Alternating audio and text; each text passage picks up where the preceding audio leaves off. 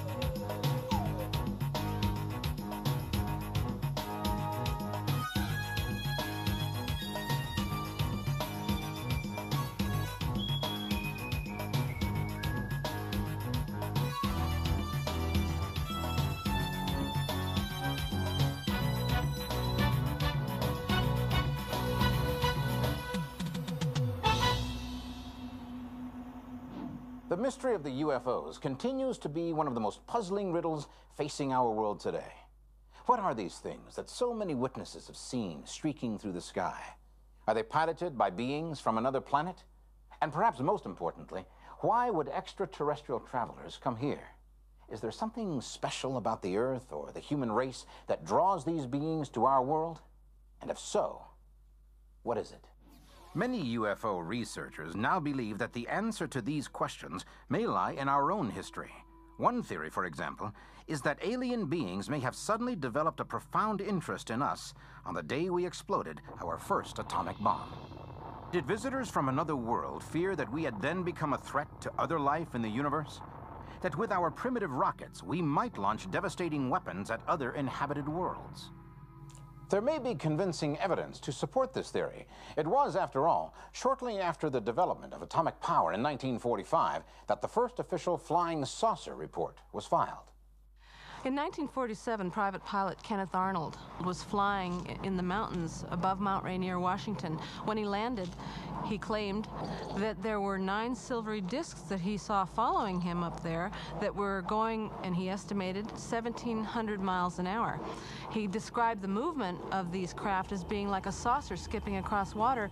The reporters were very excited about this, and one of them coined the term flying saucer, and that took off. But were the nine objects Kenneth Arnold saw really the first UFOs? During World War II, there were the Foo Fighters, uh, luminous objects which would follow bombers on their way to uh, bombing targets in Germany.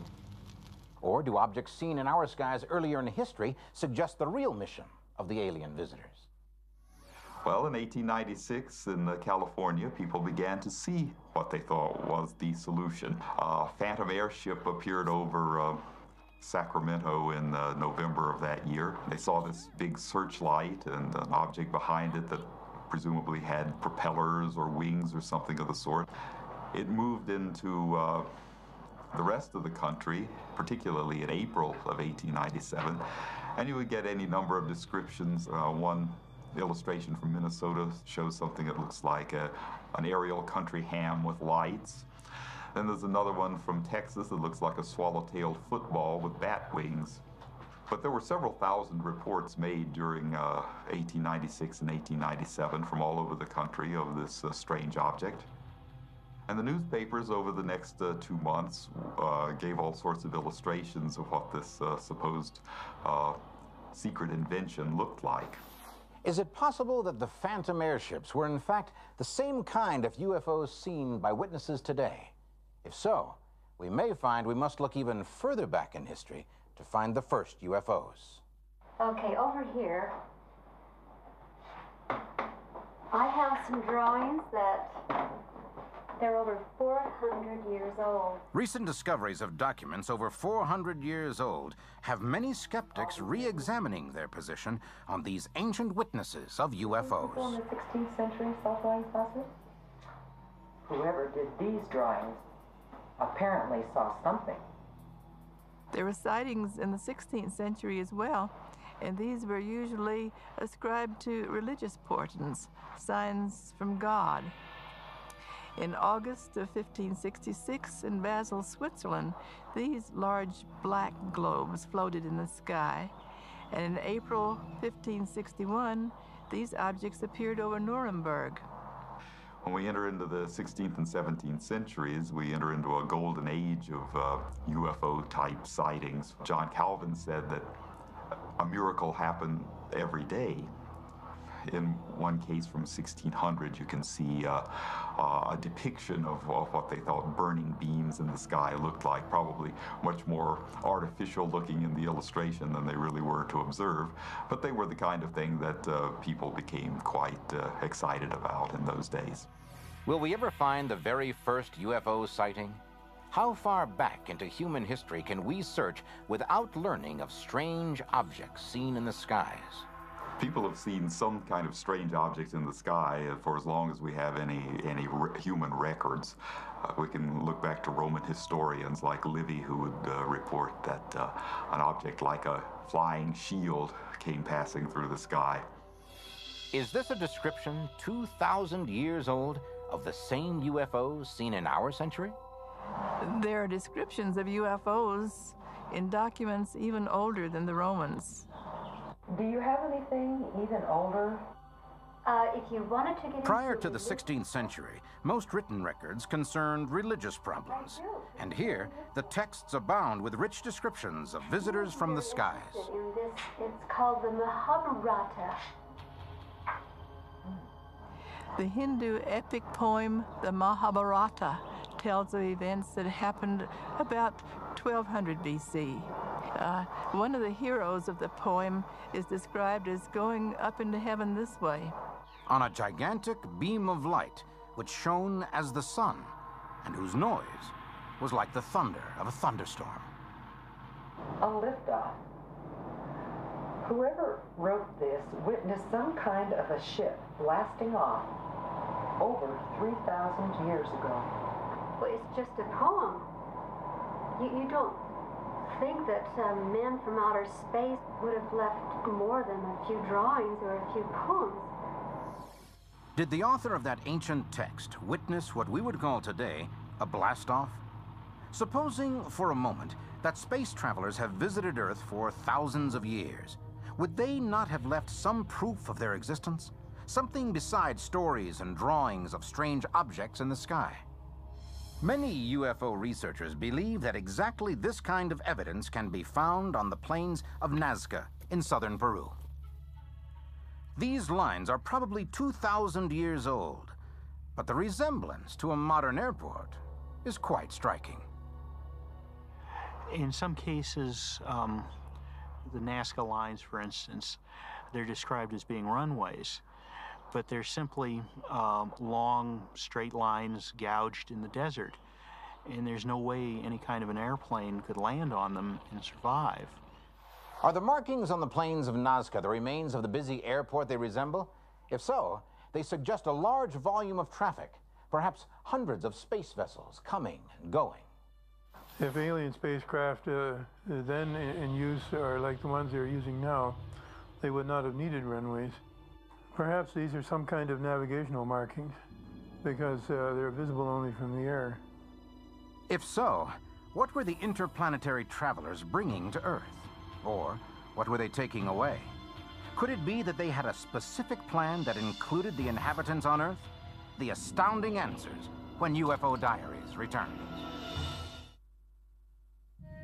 If travelers from a distant planet have been visiting our world for centuries, the possibility exists that they were not here as casual observers.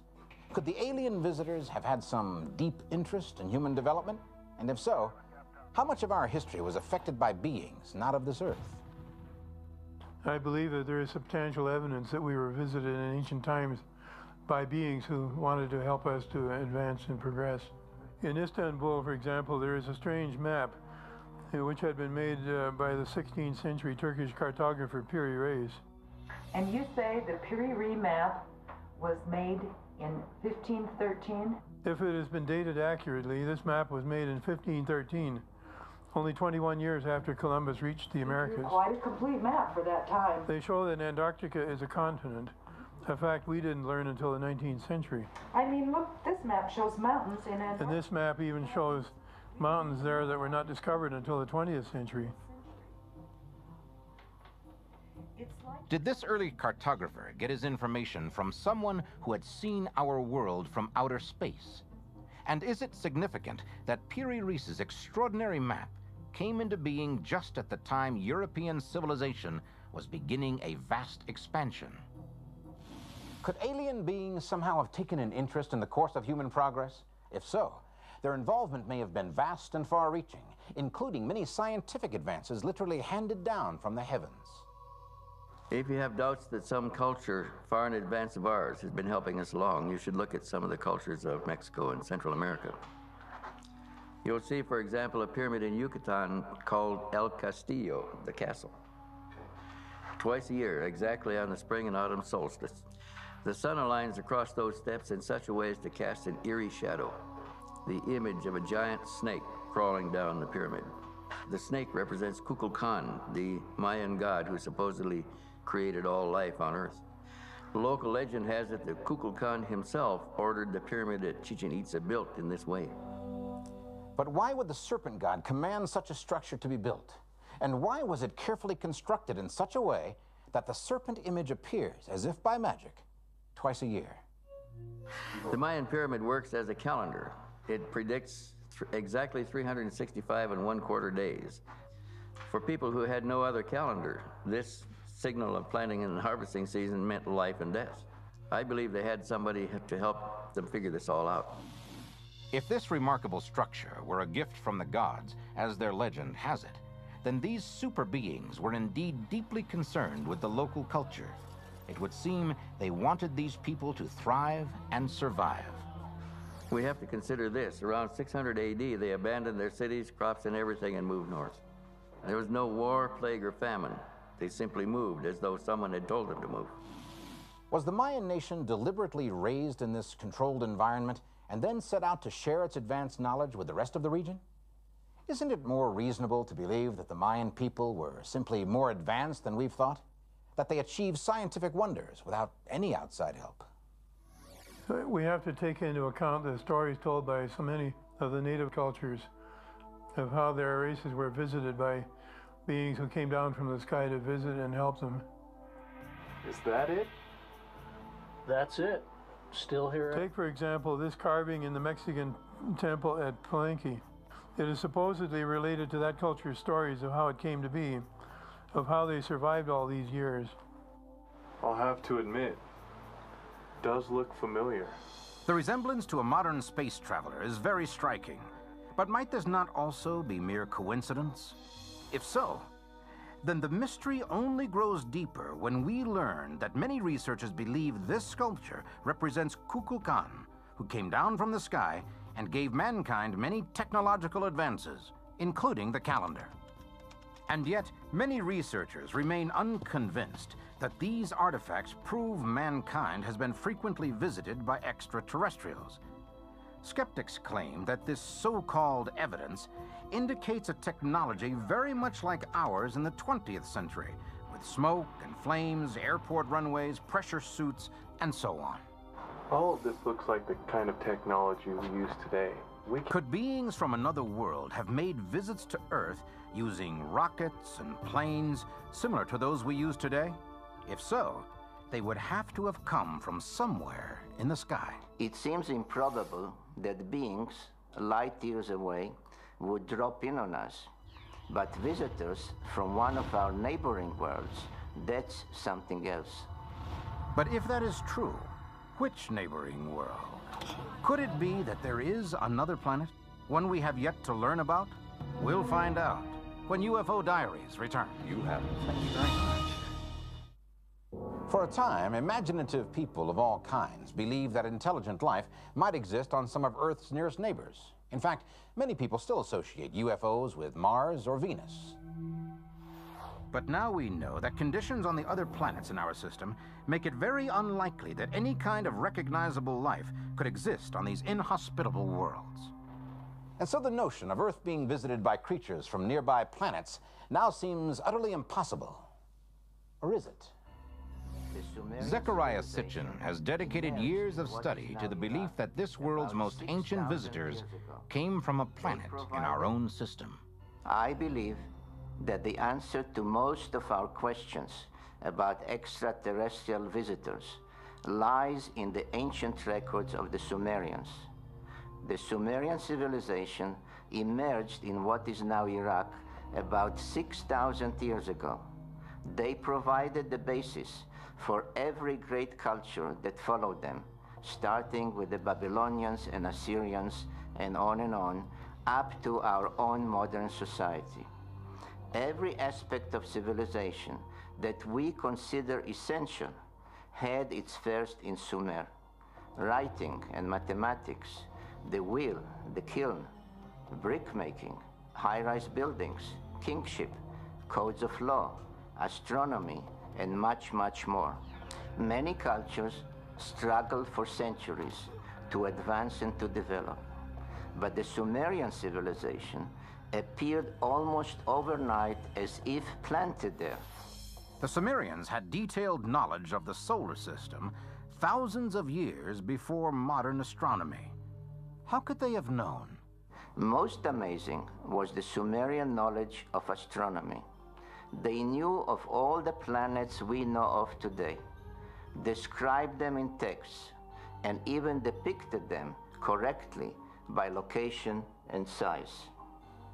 The astronomer Copernicus is often said to be the first to prove that the planets orbited around the Sun, and that Earth was one of those planets.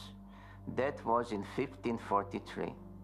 But the Sumerians said the same thing 5,500 years earlier. Even more amazing, they described Uranus and Neptune as blue-green twins.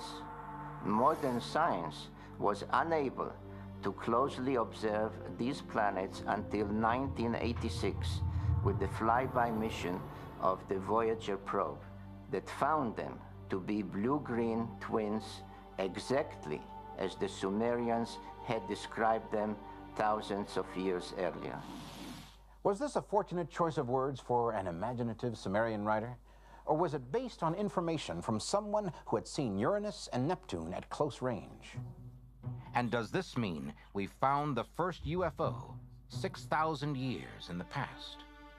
The Sumerian texts, such as this one, explicitly state that all their advanced knowledge came from those whom they called Anunnaki, literally meaning those who from heaven to earth came. But where did these visitors come from? Did the Sumerians leave any clues to the origin of the Anunnaki?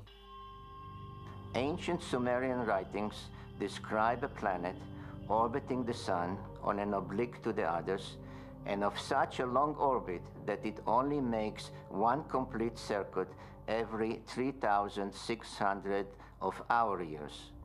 They call this world Nibiru, and it was from that world that the Anunnaki came. If this theory is correct, it suggests how an inhabited planet, called Planet X by astronomers, could have once been close enough to Earth for the Anunnaki to reach us with some kind of short-range vehicles.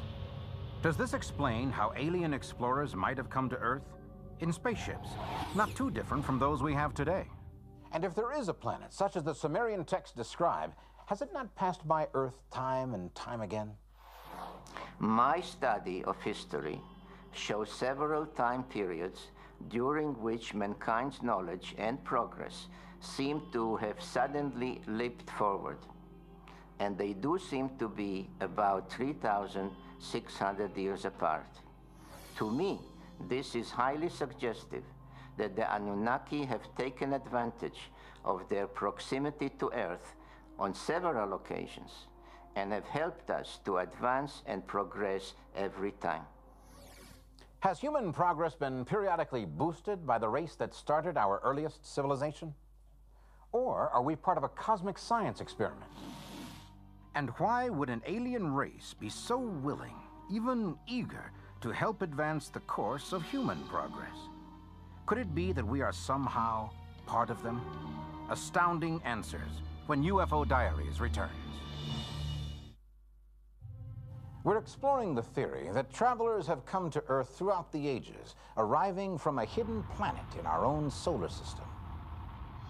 Are we any closer to an explanation of why these ancient visitors would be so eager to help mankind progress and develop? It seems very likely that these space travelers, thousands of years ago, wished for our race to survive for the same reason we wish our children to survive. Maybe it was these beings who seeded this planet with their own life forms, and we may be, in a real sense, their children. If that is true, we found the first UFO, and it's the one that brought us here to this world we call our home. In fact, this theory may be supported by the biblical account of the creation of humankind. The sixth chapter of Genesis tells us the Nephilim took the daughters of men as wives, and these human women bore children to them, and these were the mighty men who were of old. Could this refer to the alien visitors the Sumerians called the Anunnaki? Did men from another world mate with human females, producing hybrid offspring? Yes, the evidence is very convincing. We may well be mixed breed descendants of humans and extraterrestrials. In fact, According to ancient records, the females whom the Nephilim married were offspring of Adam, himself created by an earlier genetic manipulation. Wait a minute. Look at this. It's DNA. Could it be that the ancient Sumerians actually knew something about genetics? We have only recently discovered the key to our genetic structure, the twisting coils of DNA. But here, here is the same depiction on a Sumerian artifact from 5,000 years ago. It illustrates the process by which the Anunnaki jumped the gun on evolution and created Homo sapiens. Is this the ultimate discovery in the study of UFOs? In finding the earliest alien visitors to Earth, have we also revealed that they are our ancestors? Yes, we are partly of the same genetic makeup, created in their image and after their likeness. Does this explain why ancient depictions of visitors from the sky often resemble human beings? Have we traced the first UFO and discovered ourselves. The modern UFO belief system, um, in a way, has become part of uh, modern American society's creation myth. Uh, you have these all powerful be beings um, who are responsible for everything we do not understand. Um, in a way, they're equivalent to Zeus and Hercules in Greek uh, and Roman mythology so in a way, we're they are just the latest chapter in the great um, human mythological story. Will these stories ever be confirmed as truth? Will the ancient astronauts return to check on our progress? We can only wait and see. And meanwhile, continue puzzling over these strange clues in the pages of the UFO diaries.